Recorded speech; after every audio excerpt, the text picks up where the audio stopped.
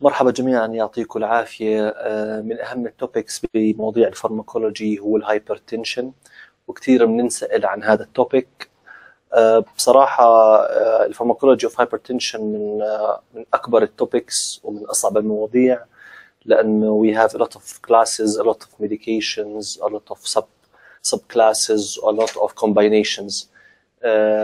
إن شاء الله راح نعمل اليوم ال part 1 part 1 راح نركز على موضوع ال pathophysiology على موضوع الفسيولوجي على موضوع ال classes راح نحاول نحاول نعمل sum up لل major four classes of therapy وإن شاء الله بال next videos راح نخصص بكل واحد. ال pharmacology of hypertension إذا بدك إياها معقدة بتتعقد إذا بدك إياها بسيطة حتكون أبسط. راح نبلش فيها uh, كالتالي. هلا إحنا normally our bodies الضغط الدم مستحيل يكون ثابت في increases وفي عندنا كمان drops uh, هذا الشيء normal من أهم ال mechanisms اللي uh, بتزيد الضغط الدم لما يكون low هو ال renin angiotensin aldosterone system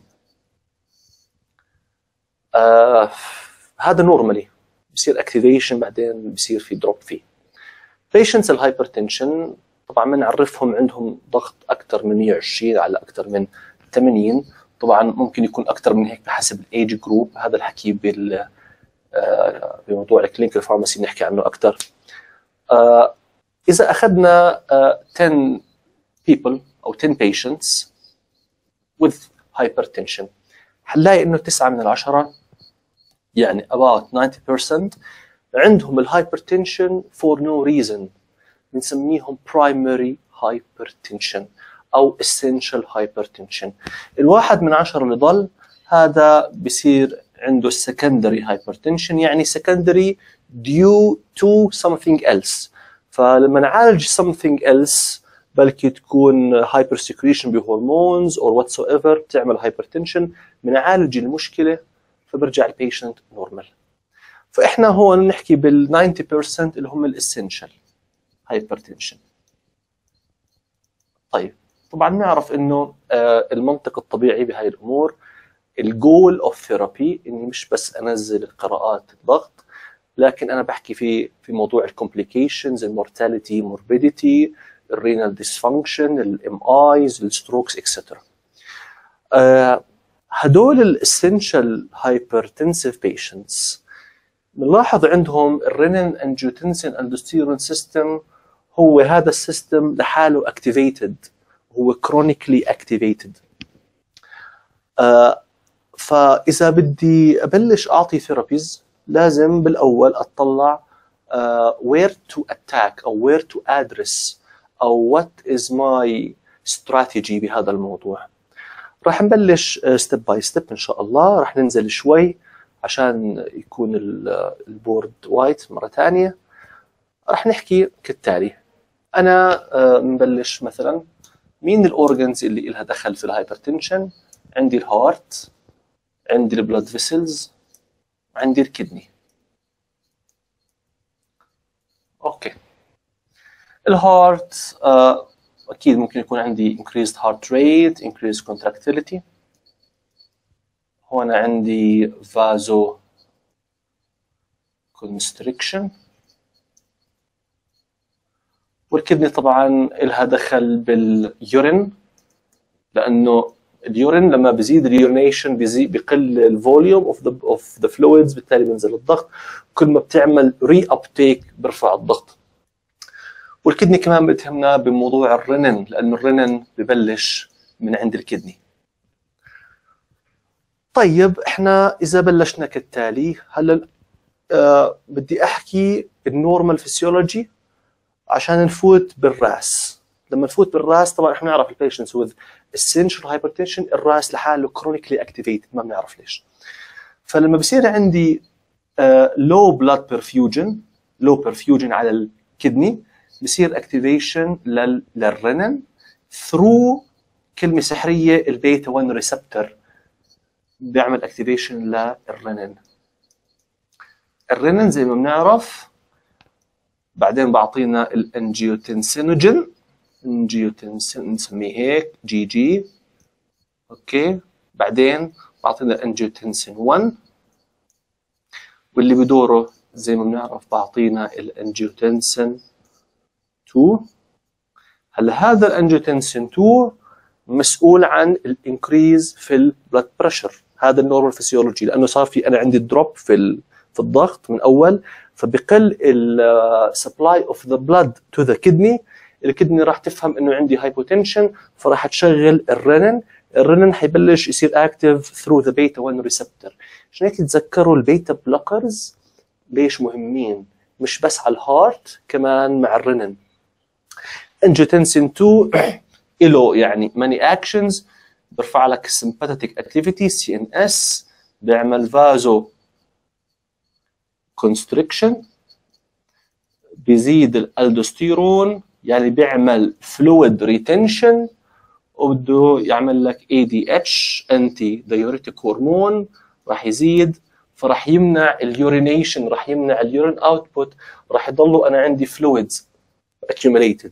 طبعا القاعدة البسيطة كل ما زاد ال heart rate ال contractility كل ما زاد ال vasoconstriction كل ما زاد ال fluid reuptake back هون إحنا بنزيد الضغط. طيب آه ليش ال RAAS important ال RAAS important لأنه من أهم ال medications على هذا ال RAAS بيشتغلوا. راح نغير اللون راح ناخذ اللون الأسود. آه فأول class هون راح يجي drug أو راح يجي انزيم اسمه angiotensin converting enzyme.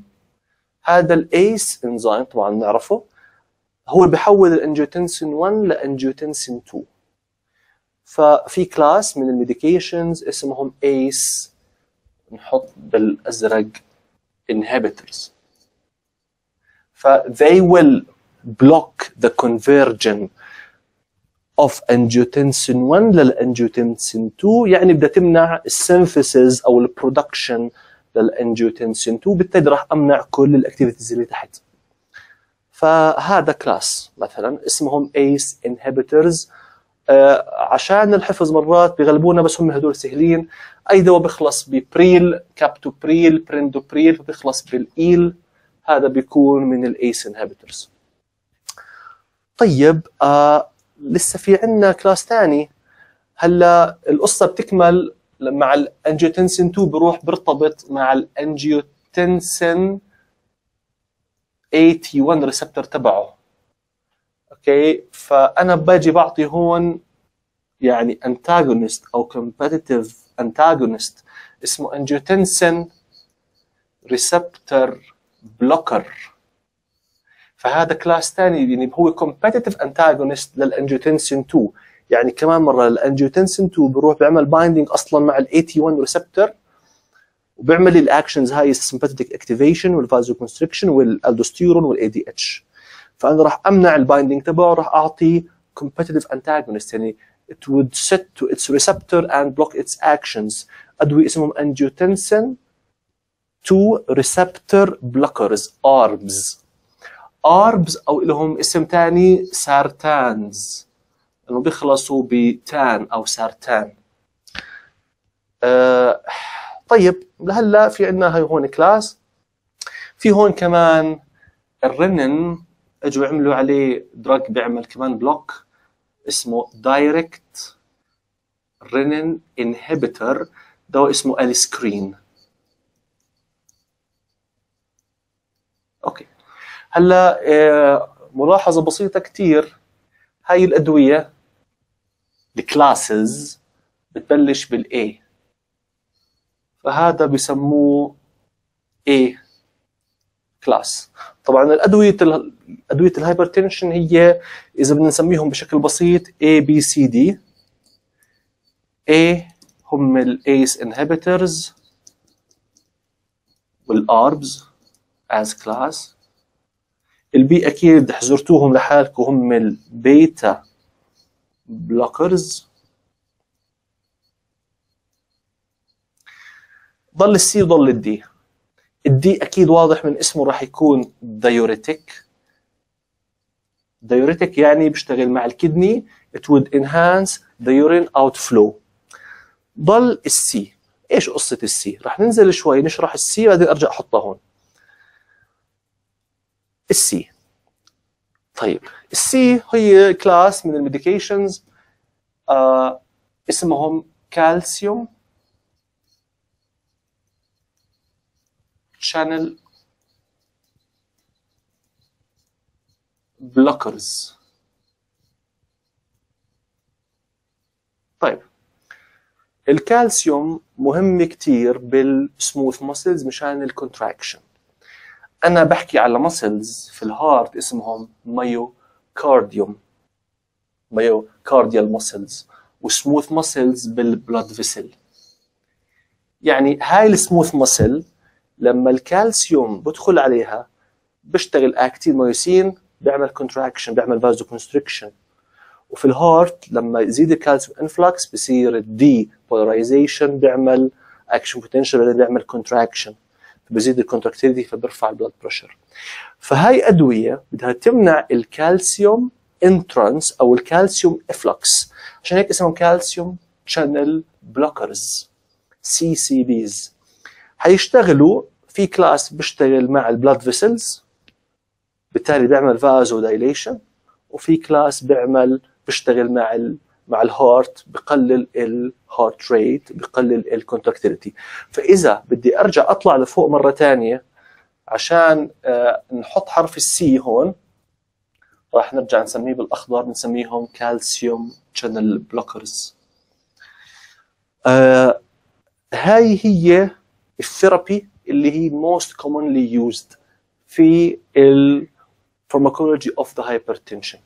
A, B, C and D A ACE inhibitors أو ال ARBs طبعا مش أو يعني مع طبعا they are not given in combination بنشوف بعدين ال B stands for the beta blockers C stands for the CCBs أو الكالسيوم channel blockers وال D هم ال diuretics نبلش فيهم وحده وحده لو نزلنا أو اخذنا new screen ال...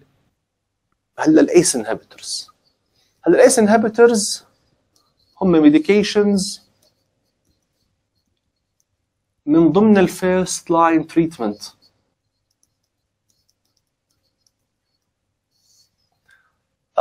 جنبهم ال ARBs كمان هدول first line treatment بال hypertension شو الاختلاف بين ال ACE inhibitors وبين ال ARBs أه نبلش بس أول شيء نحكي مين ال most common names عندنا عندنا أول واحد اسمه كابتوبريل عندنا واحد مشهور اسمه ramipril عندنا واحد اسمه lisinopril وعندنا perindopril طبعا هم أكثر من هيك بس هدول ال most common ال ARBs عندنا very famous names نغير اللون وناخذ لون أخضر. نحكي candesartans candesartan valsartan مثلا تلمي سارتان هلأ هدول بيشتغلوا على تو sequential steps يعني two steps ورا بعض. فأنا بعتبرهم بيشتغلوا بنفس ال MOA mechanism of action. بفرقوا آه بفرقوا شوي عن بعض. في advantages أو drawbacks واحد عن الثاني طبعا في فكرة مشهورة كثير إنه ال ACE inhibitors بتعمل increase في ال nitric oxide concentration. في ال vascular endothelium يعني بتعمل vasodilation بتعمل شيء اسمه بنسميه endothelial correction بنفس الوقت بتعمل higher incidence of dry cough. يعني المريض بيكون ماشي على على أدوية ال ACE inhibitors بعض المرضى مش كل المرضى يعني بجوز نسبة 7 to 10% بصير عندهم dry cough